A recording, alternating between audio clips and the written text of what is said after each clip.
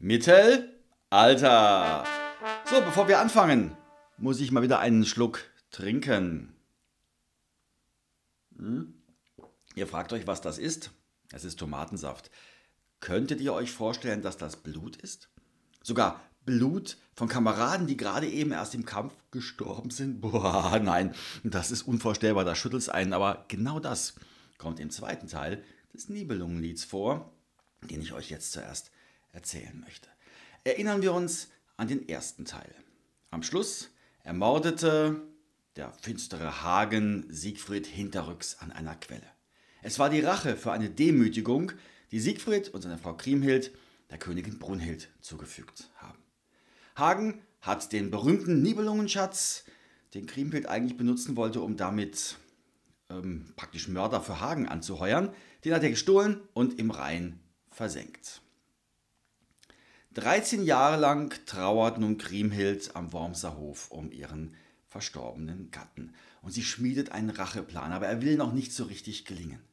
Dann aber kommt Rüdiger von Bechlarn an den Hof und wirbt im Auftrag keines Geringeren als des Hunnenkönigs Etzel, das ist der historische Attila, um Kriemhild. Kriemhild nimmt die Werbung sehr gerne an und nur Hagen ahnt die Gefahr, die dadurch entsteht, denn nun hat Kriemhild natürlich mit Etzel einen mächtigen Ehemann, der ihre Rachepläne vollenden könnte. Aber noch herrscht Frieden und es vergehen weitere 13 Jahre, in denen Kriemhild ihrem Ehemann einen Sohn schenkt namens Ortlieb. Nach diesen zweiten 13 Jahren schafft sie es dann, ihren Mann dazu zu bringen, die Burgunder an den Hof einzuladen, an den Hof Königs Etzels in Österreich-Ungarn. Genau weiß man es nicht, wo der gelegen hat. Die Burgunder ahnen die Gefahr, aber sie nehmen die Einladung an. Und sie ziehen mit 1000 Rittern und 9000 Knechten an den Etzelshof. Übrigens, jetzt werden sie nicht mehr Burgunder genannt, sondern Nibelungen, so jedenfalls im Text. Ich nenne sie jetzt einfach der Einfachheit halber weiter die Burgunder. Als sie am Hof ankommen, spürt man sofort die Spannungen zwischen den Gruppen, die Nibelungen auf der einen Seite oder Burgunder, auf der anderen Seite die Hunnen. Dietrich von Bern warnt die Burgunder vor der Gefahr, die auf sie wartet. Dietrich von Bern, ja, das ist auch einer der bekanntesten Helden der germanischen Sagenwelt. Dietrich von Bern, nein, hat nichts mit der Schweiz zu tun. Dahinter verbirgt sich der Ostgotenkönig Theoderich der Große. Auf jeden Fall war Dietrich von Bern dem Publikum bekannt und konnte hier einfach nebenbei genannt werden. Man wusste sofort, um welchen Helden es sich dabei handelt. Wie gesagt, Dietrich warnt die Burgunder, die schlagen die Warnung allerdings in den Wind und es kommt, wie es kommen muss. Kriemhild lässt den Tross der Burgunder überfallen, während die Ritter beim gemeinsamen Abendessen in der Festhalle sitzen. Sofort springt Hagen auf und schlägt dem kleinen Ortlieb, ihr erinnert euch, das ist der Sohn von Kriemhild und Etzel, dem kleinen Ortlieb also schlägt er den Kopf ab. Jetzt greifen die Burgunder natürlich zu den Waffen und es gibt ein richtiges Blutbad. Brutale Kämpfe finden statt. Viele Helden sterben und die Burgunder warten irgendwann kniehoch im Blut der Gefallenen. Kriemhild setzt noch einen drauf. Sie lässt nämlich jetzt Feuer legen und will die ganze Halle abfackeln. In Hitze und Qual leiden die Burgunder da drin. Und sie haben Durst. Und das ist das, was ich am Anfang gesagt habe. Sie löschen ihren Durst mit dem Blut der Gefallenen. Am Ende bleiben nur noch vier Ritter übrig, nämlich Hagen und Gunther auf der Seite der Burgunden und bei den Hunnen Dietrich von Bern und Hildebrand, auch ein bekannter Sagenheld, den wir aus dem althochdeutschen Hildebrandslied kennen. Dietrich überwindet Hagen und Gunther und übergibt sie Kriemhild, in der Hoffnung, sie möge eine friedliche Lösung finden. Doch daran denkt sie überhaupt nicht. Sie fordert Hagen auf, ihr den Ort zu nennen, wo er den Nibelungenschatz im Rhein versenkt hat. Doch daran denkt er nun wieder nicht. Er sagt, solange noch einer von ihnen am Leben ist, wird er diesen Ort niemals verraten. Daraufhin lässt Kriemhild Gunther ihrem Bruder den Kopf abschlagen. Jetzt verhöhnt sie Hagen erst recht, indem er sagt, nur noch Gott und ich wissen, wo der Hort versteckt ist.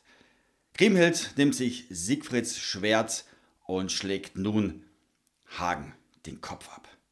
Aber damit sind wir noch nicht fertig. Es, werden noch, es rollt noch ein Kopf. Denn Hildebrand springt nun auf und erschlägt Kriemhild. Tja, und am Ende, da stehen Dietrich von Bern und Hildebrand weinend vor den Trümmern einer ganzen Dynastie, des ganzen Volkes, nämlich der Burgunder. Und es ist ein unsagbares Leid, das entsteht. Und der Erzähler fasst es in die Worte, das ist der Nibelunge Not. Damit ist der zweite Teil und die ganze Geschichte zu Ende. Über die Hintergründe und die Bedeutung des Nibelungenliedes kann man viel sagen und es ist auch schon sehr, sehr viel gesagt worden. Die Bücher darüber füllen ganze Bibliotheken. Hier ein paar wichtige Stichworte. Zunächst die Frage, warum kennen wir eigentlich den Dichter nicht mit Namen? Denn bei anderen Texten der Zeit um 1200, da wissen wir, es war ein Hartmann von Aue, Gottfried von Straßburg oder Wolfram von Eschenbach. Beim Nibelungenlied liegt es daran, dass die Stoffe aus einer mündlichen Erzähltradition kommen. Und zur mündlichen Erzähltradition gehört, dass die Dichter hinter ihrem Stoff, hinter ihrem Text zurücktreten und ihren Namen nicht nennen.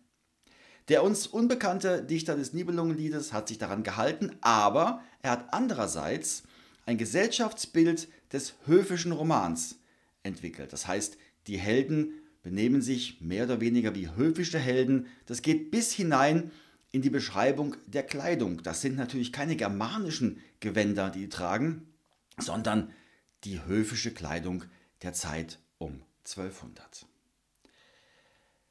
Die Figur des Siegfried ist sehr oft interpretiert worden.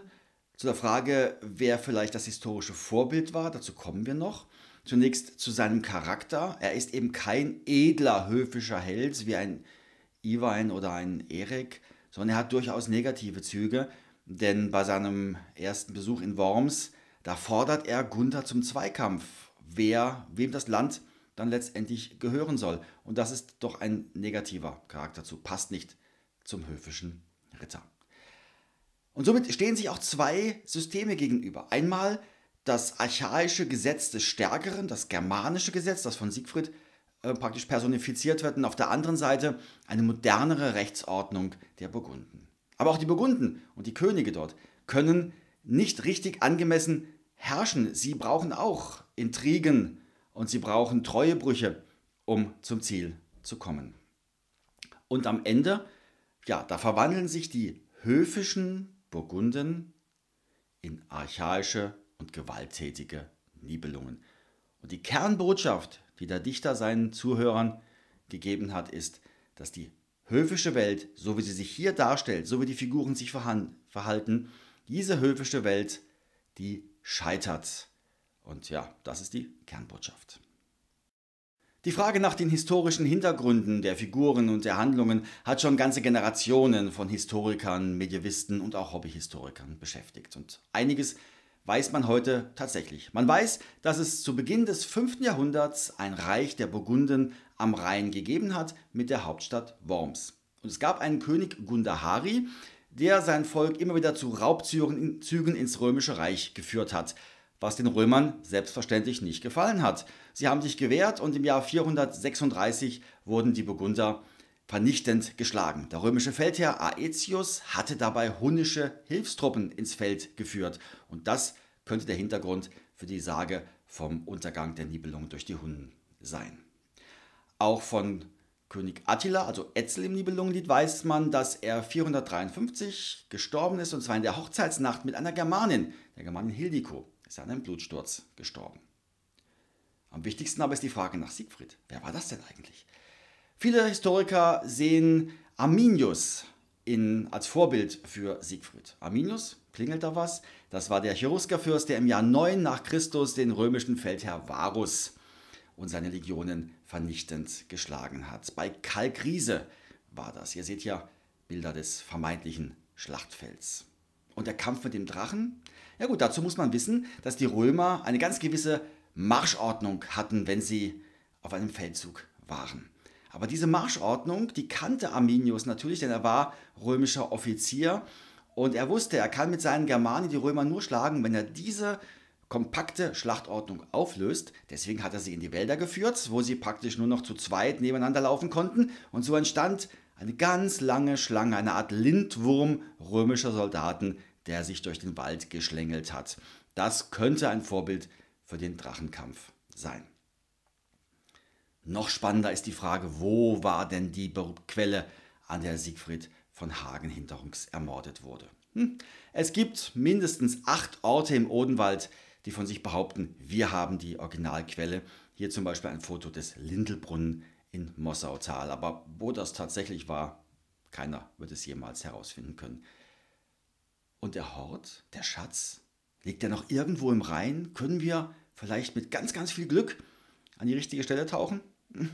Auch das ist eher unwahrscheinlich, denn der Rhein hat natürlich im Laufe der Jahrhunderte seine Richtung geändert, sein Flussbett hat sich verschoben, also dort, wo der Rhein heute fließt, da floss er eben zur Germanen, zur Völkerwanderungszeit noch nicht.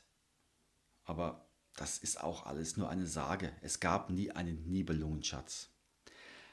Aber was es natürlich gab, war auf der einen Seite Gold, das man im Rhein gefunden hat, aus dem Rhein ausgewaschen hat.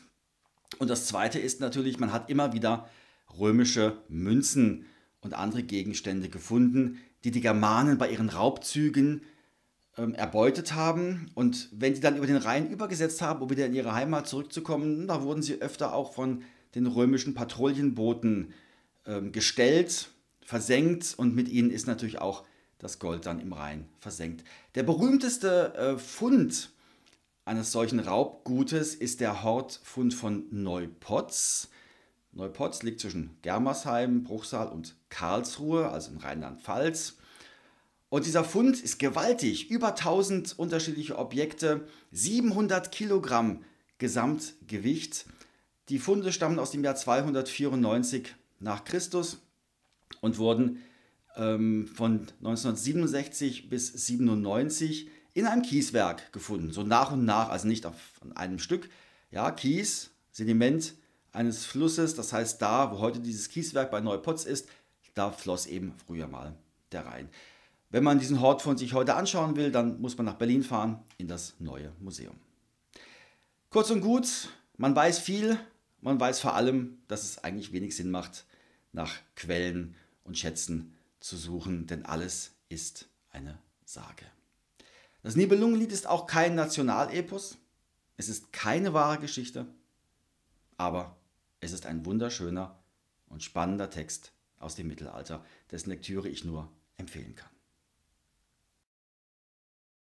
Wenn ihr den ersten Teil der Geschichte noch nicht kennt oder das Video dazu noch einmal sehen wollt, dann klickt einfach hier.